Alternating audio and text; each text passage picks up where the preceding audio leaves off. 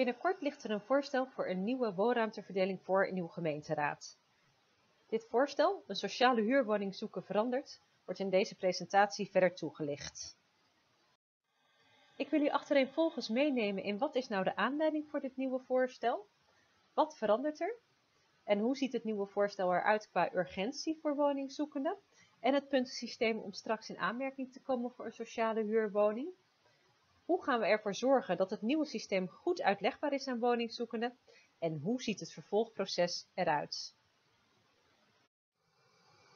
Dit voorstel is tot stand gekomen in een samenwerking tussen 15 gemeenten en 14 corporaties in de regio's Zaanstreek-Waterland, Amsterdam en Amsterdam-Meerlanden. Bij de totstandkoming van het voorstel is er een breed participatietraject georganiseerd, waarbij de inwoners van de 15 gemeenten input hebben kunnen leveren en ook zijn de belangenorganisaties betrokken en geconsulteerd. Daarnaast zijn er gesprekken gevoerd met bepaalde groepen woningzoekenden, de raden zijn aan het woord geweest en de bestuurders hebben uiteraard met elkaar overlegd. Nou, al die ingrediënten samen hebben geleid tot een beleidsvoorstel wat nu voor ligt. Aanleiding voor dit voorstel is dat sociale huurwoningen heel erg schaars zijn in deze regio. Gemiddeld heb je 11 jaar nodig voordat je in aanmerking komt voor een sociale huurwoning. Niet iedereen kan zo lang wachten. Er zijn verschillende soorten woonvraag bij woningzoekenden. De ene woningzoekende die wil graag een kwaliteitsslag maken, bijvoorbeeld in een betere buurt wonen of een kamer extra of meer buitenruimte. En een andere woningzoekende die wil graag starten. Die heeft nog geen eigen woning en wil wel een eigen woning betrekken. Er zijn ook mensen die na relatiebreuk op straat komen te staan en dan op zoek moeten naar een nieuwe woning. Nou, voor echte noodsituaties is er urgentie, maar omdat er vrij veel urgenten al zijn, zijn de criteria daarvoor heel erg streng en komt niet iedereen in aanmerking. Zo is iemand die dakloos wordt na een relatiebreuk niet automatisch een urgent. Nou, om meer variatie in, om die verschillende soorten woonvraag beter te bedienen, is dit nieuwe voorstel gemaakt. Het voorstel is niet bedoeld om de schaarste op te lossen. Het enige wat je kan doen om schaarste op te lossen is te zorgen dat er veel nieuwe woningen worden gebouwd in het sociale segment, maar ook in het middenhuursegment. De gemeenten die bij dit voorstel betrokken zijn, die werken ook allemaal aan een bouwprogramma om wat te doen aan die schaarste. Wat verandert er nu met het nieuwe voorstel? Nou, ik zei het net al even. Het doel van het voorstel is meer ruimte te bieden voor huishoudens die niet in aanmerking komen voor urgentie, maar toch een dringende woonvraag hebben. Op dit moment heb je dus dat wachten, die 11 jaar waar ik het net over had, en urgentie om in aanmerking te komen voor een woning. Maar straks gaan we naast wachten ook zoeken en situatie belonen. Hoe dat eruit ziet, ga ik nu. Nou, zowel in het huidige als in het nieuwe systeem is urgentie nog steeds belangrijk. Urgentie kunnen woningzoekenden krijgen in levensontwrichtende situaties. Je moet bijvoorbeeld daarbij denken aan medische omstandigheden, waardoor iemand niet in zijn huidige woning kan blijven. Bijvoorbeeld, je bent slechter been en je moet een hoog trappenhuis in. Of je woning is afgebrand, of je woning wordt gesloopt. Dat kunnen allemaal levensontwrichtende situaties zijn. Nou, in een aantal gemeenten kunnen urgenten, sociaal-medisch urgenten en stadsvernieuwingsurgenten op dit moment zelf zoeken uit het woningaanbod via Woningnet of Woonmatch. Dadelijk is het de bedoeling dat ook sociaal-medisch urgenten in alle gemeenten direct bemiddeld gaan worden. Stadsvernieuwingsurgenten kunnen wel zelf blijven zoeken via Woningnet of Woonmatch. Voor de overige woningzoekenden gaat er een puntensysteem gelden op basis van wachtpunten, zoekpunten en situatiepunten. Deze drie puntensoorten samen maken een totaalscore en de totaalscore bepaalt de positie op de ranglijst. De woningzoekende met het meeste aantal punten, die krijgt als eerste de woning aangeboden. Hoe werkt die puntenopbouw dan?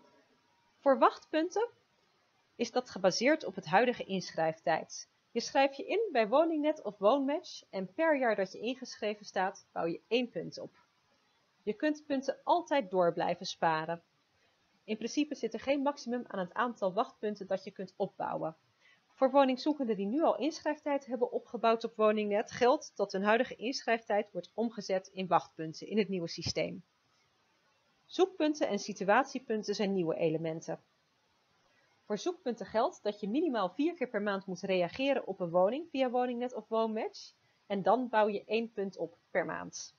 Het maximaal aantal punten dat je kunt verdienen is 30. Daarna houdt de opbouw van zoekpunten op. Ook kun je situatiepunten verdienen in de volgende situaties. relatiebreuk met kinderen, inwonende gezinnen en problematisch thuiswonende jongeren. Nou, om die situatiepunten te kunnen opbouwen gelden een aantal specifieke criteria. En het is de bedoeling dat woningzoekenden straks via een centraal punt deze situatiepunten gaan aanvragen, daarbij de bewijsstukken overleggen en dat er dan een beoordeling plaatsvindt of een woningzoekende situatiepunten kan gaan opbouwen. Op het moment dat die beoordeling positief is, kan een woningzoekende één situatiepunt per maand opbouwen. Wachtpunten kun je opbouwen, maar wachtpunten worden nooit afgebouwd. Ze lopen altijd door en de enige reden waarom wachtpunten vervallen is als een woningzoekende een woning heeft geaccepteerd en ook daadwerkelijk die woning betrekt. Op het moment dat die woningzoekende zich dan opnieuw wil inschrijven bij Woningnet of Woonmatch voor een nieuwe sociale huurwoning, dan moet de opbouw van wachtpunten opnieuw gestart worden. In tegenstelling tot wachtpunten kunnen zoekpunten wel afgebouwd worden. Reden is dat zoekpunten vooral bedoeld zijn om mensen die dringend een woning nodig hebben een hogere positie op de wachtlijst te geven. Daar horen wel een aantal voorwaarden bij. Mensen die niet meer zoeken in een maand, die verliezen ook weer een zoekpunt. Op het moment dat er 1 tot 3 reacties geplaatst worden op een woning per maand, blijft het aantal zoekpunten gelijk. Pas als je helemaal niet reageert, dan vindt die punt aftrek plaats. Ook kan het zo zijn dat een woningzoekende met zoekpunt een uitnodiging krijgt voor bezichtiging, maar aangeeft geen belangstelling meer te hebben voor een woning. Of een woningzoekende krijgt een uitnodiging voor bezichtiging, gaat kijken en heeft na dat kijken geen belangstelling meer voor de woning. Op dat moment vindt aftrek van één zoekpunt plaats. Situatiepunten zijn drie jaar geldig. Verwachting is dat mensen met situatiepunten die ook wachtpunten en zoekpunten hebben opgebouwd, erin slagen om een woning te kunnen vinden. Als dat niet zo is, kunnen zij een verlenging voor drie jaar van hun situatiepunten aanvragen. Na deze drie jaar vervallen de situatiepunten automatisch in Woningnet en Woonmatch. In een tweetal omstandigheden vervallen alle zoek- en situatiepunten van een woningzoekende. De eerste situatie is dat een woningzoekende niet komt opdagen voor een bezichtiging nadat die bezichtiging door de woningzoekende zelf bevestigd is.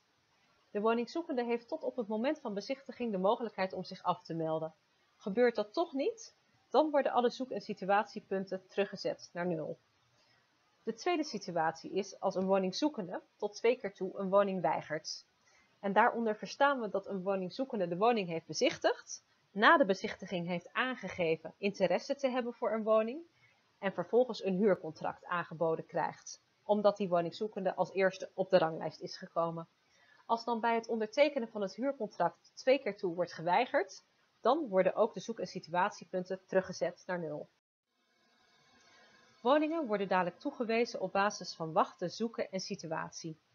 Daarnaast zijn er ook een aantal keuzes die lokaal gemaakt kunnen worden. Een voorbeeld daarvan is een experiment met startpunten. Startpunten zijn bedoeld voor jongeren die een half jaar voor afloop van een jongerencontract nog geen vervangende woonruimte hebben gevonden. Zij moeten wel kunnen aantonen dat ze in de afgelopen periode intensief gezocht hebben naar een nieuwe woning en dat ze ook geen woningen geweigerd hebben. Nou, dat intensief zoeken kan een reden zijn om startpunten toe te kennen, maar ook het hebben van kleine kinderen, jonger dan 5 jaar, kan een reden zijn om startpunten toe te kennen. Het is namelijk moeilijker voor jongeren met kleine kinderen om een geschikte woning te vinden, omdat zij vaak ook nog niet zoveel wachttijd hebben opgebouwd. De gemeente besluit zelf of zij die startpunten wil inzetten. En die startpunten zijn een experiment voor de periode van twee jaar. Na die twee jaar wordt het experiment geëvalueerd en wordt bekeken of het voortgezet wordt. In het nieuwe voorstel komen er dus een aantal extra aspecten bij. Woningen worden niet alleen maar toegewezen op basis van wachten, maar ook zoeken en situatie gaan een rol spelen. Er is ook onderzocht of deze nieuwe werkwijze goed uitlegbaar is aan woningzoekenden. Daarom is met een testpanel van mensen die actief op zoek zijn naar een sociale huurwoning gekeken hoe zij de nieuwe werkwijze ervaren. Nou, op basis daarvan is gebleken dat zij de nieuwe werkwijze net zo uitlegbaar vinden als de huidige werkwijze, maar dat er wel vooral heel veel aandacht nodig is voor de vormgeving op Woningnet en Woonmatch. Die moeten woningzoekenden echt ondersteunen om de nieuwe regels te begrijpen. Er komt extra aandacht daarom voor minder digitaal vaardigen door het gebruik van pictogrammen en beeldend materiaal, zodat een woningzoekende niet eerst teksten hoeft door te lezen om goed te kunnen bevatten van hoe werkt het nou. Nou, dan is er daarnaast nog een groep woningzoekenden die ook in het huidige systeem niet zo goed zijn weg kan vinden. En deze woningzoekenden zijn vaak al bekend bij gemeenten en corporaties, omdat ze nu ook al hulp krijgen bij het zoeken naar een woning.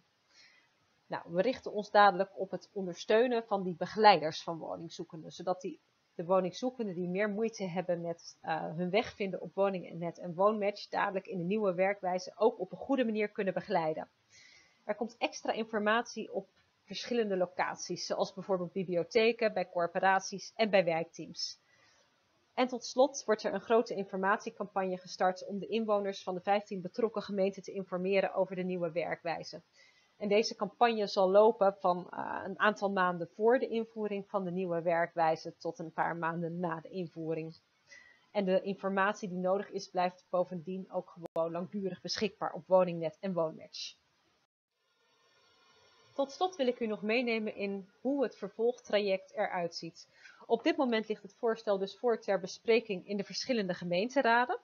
Nou, ervan uitgaande dat al die gemeenteraden akkoord zijn, moet er dadelijk een vertaling plaatsvinden van de nieuwe afspraken in juridische regels. En die worden vastgelegd in lokale huisvestingsverordeningen, die ook aan de gemeenteraad ter besluitvorming worden voorgelegd. Ook moet er opdrachtverlening plaatsvinden aan Woningnet en Woonmatch om de wijzigingen door te voeren in hun aanbodsites. En wordt er een portaal gebouwd voor de aanvraag van situatiepunten en startpunten. Nou, met name die softwarewijzigingen, die hebben wel even tijd nodig. Dus verwachting is dat het nieuwe systeem per 1 mei 2022 in werking kan treden. Nou, dat is dus het perspectief van hoe de besluitvorming eruit gaat zien en welk tijdpad we nog doorlopen naar de invoering. Daarmee zijn we aan het einde gekomen van deze presentatie. En mocht u eventueel nog vragen hebben, dan kunt u daarvoor terecht bij uw lokale medewerker wonen.